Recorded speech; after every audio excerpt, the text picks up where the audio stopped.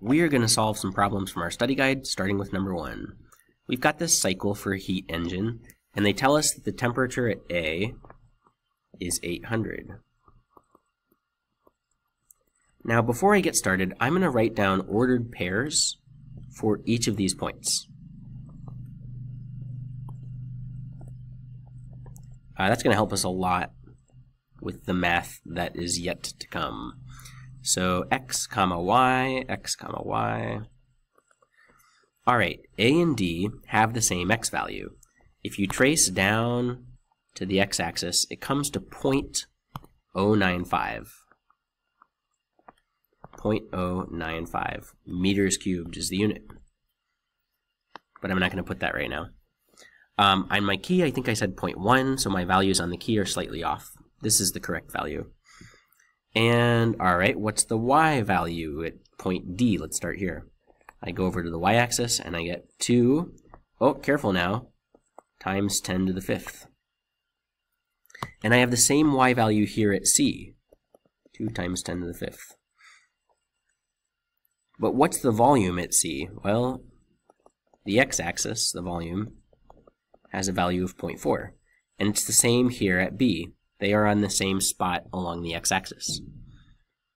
Uh, but what's the pressure at A and B? It's the same, right?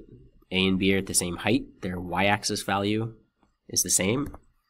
They are both at 4 times 10 to the fifth. So there's a lot of overlap here. All right, find the temperature at B, C, and D. Well, this is not too bad because if we think about the uh, equation of state of an ideal gas, number of moles is constant. We assume always that gas isn't leaking into the engine or out of the engine. R is always constant, never changes in any circumstances. So if we divide both sides by T,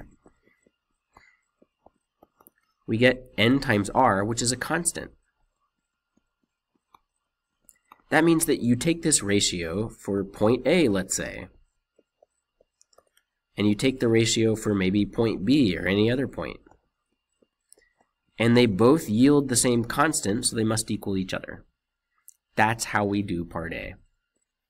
So to find the temperature at B, I'm going to use exactly this equation that I just wrote down. And I have all the values, you know, I know the temperature at A. This is my unknown. Uh, well, look at this. From A to B, they have the same pressure, 4 times 10 to the fifth. So when you plug in pressure, it's going to cancel. You don't have to even plug it in. And then you just calculate the value. Uh, we know this, right? The volume at A is 0.95. The volume at B, we know that's 0.4. Okay? We do the same thing for, you know, C and D. Um, you can choose any two, you know, you could say, okay, for going B to C, pressure, volume over temperature equals pressure times volume. That's supposed to be at P over temperature. And from B to C, if we plug in the values, you know, you know this because you calculated it right here. when you plug in, they have the same volume at B and C. So those values are going to cancel. You don't even have to plug in. And you do this uh, finally at point D, choosing, you know, you could go equate pressure at C times volume at C, pressure at D, and you can solve that way. Here are the answers you get. There, right there, is the temperature at B, temperature at C, and the temperature at D. This is using 0.095 as the volume. We move on. Find the change in internal energy along each leg. Okay. Well, internal energy is 3 halves nRT. That's the equation from our data booklet. But nRT is equal to pressure times volume. That's how we're going to find the change in internal energy. Along AB, along BC, each of the four legs. So delta U is simply 3 halves P final V final, that's the final U, minus the initial. Like that. And you can factor out the three halves. You can plug in the values for, you know, B and A. The final is B, the initial is A. We're going from A to B. but they have the same pressure. See that? So you could just factor out the pressure as well, the 4 times 10 to the fifth. And then for your final minus initial volume, we ended at a volume of 0.4, and we started at a volume of 0.095. And you calculate. And we are going to do the exact same thing for each of these. Oops, let's clone. For each of these uh, legs. That's all we do. And clearly I didn't give myself enough space. Or you, for that matter. Let's do this work. And one last time. Well, let's see it, folks. Wait. Clone. We do the same thing for DA.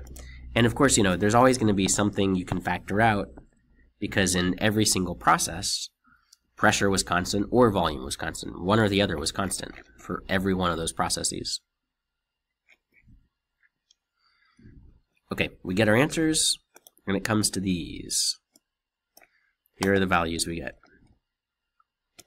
Be careful. Make sure you subtract the correct value, you know? Um, like on CD, it should become a negative answer because from C to D, your final is this. Your final volume is 0.095. Your initial is 0.4, so it should come out negative. So be careful with that. Find the amount of energy. What are they talking about, energy? Well, they're always referring to heat energy.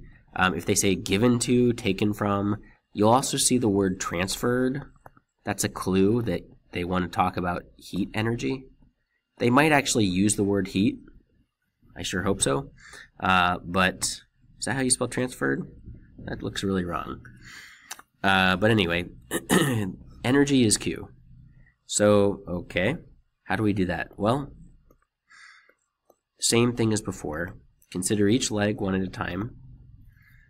BC. How do you spell transferred? This is going to bug me. The cold medicine has prevented me from remembering how to spell transferred.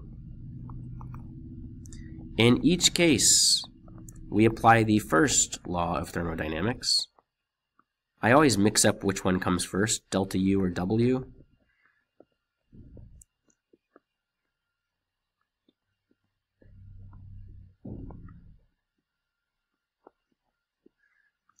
And, okay, this is pretty straightforward. we know delta U for each one. So that's easy. Half the work is done.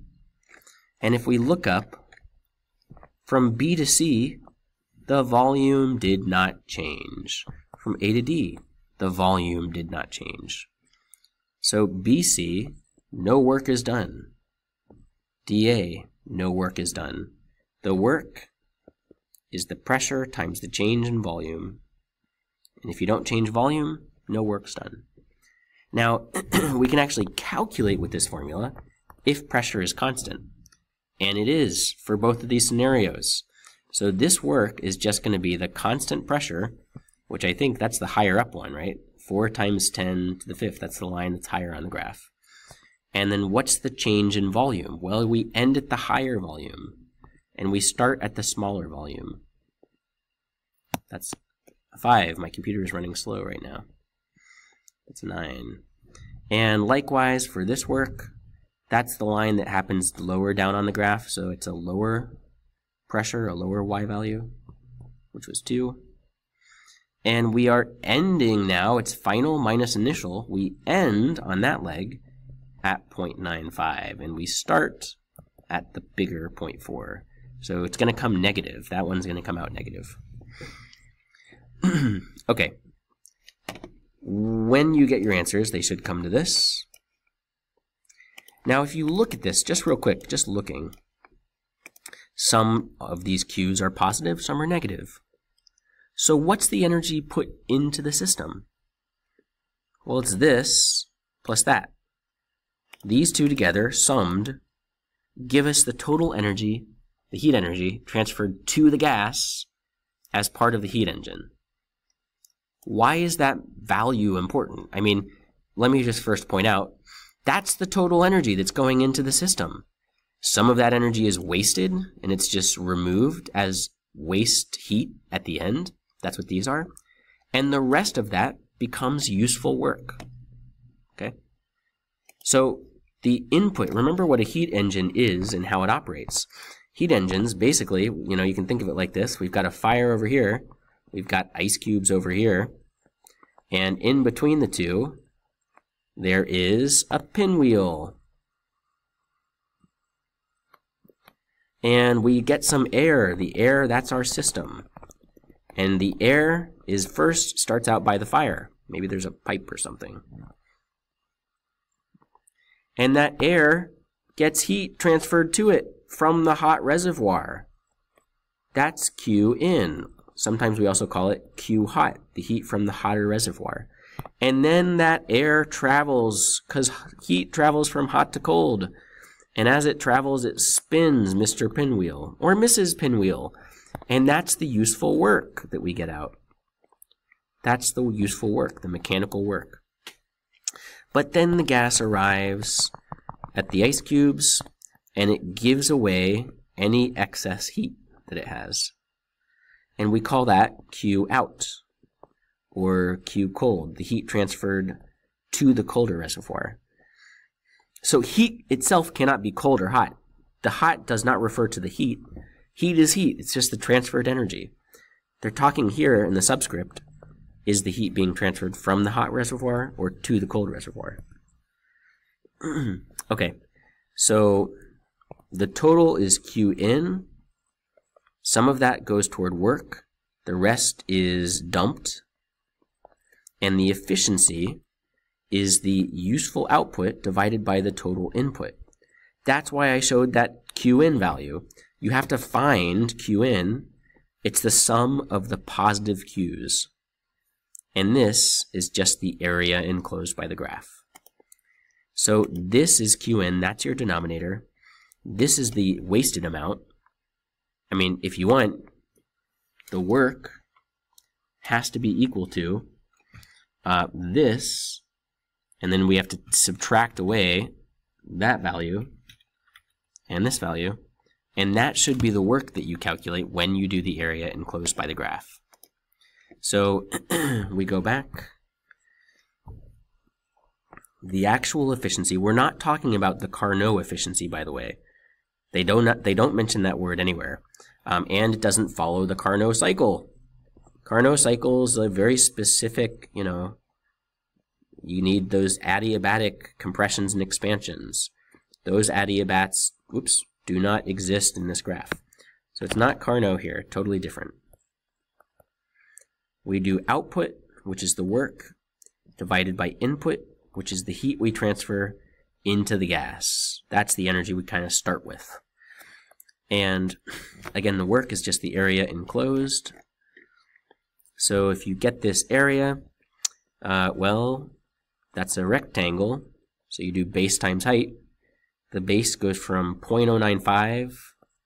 The base is this, the difference and the height is from 2 to 4, so 2 times 10 to the fifth. And you could write this base as point oh whoa point three oh five, right? You multiply by those, those two, that's your numerator. You divide by the total input heat, which was the two positive values of Q that we found.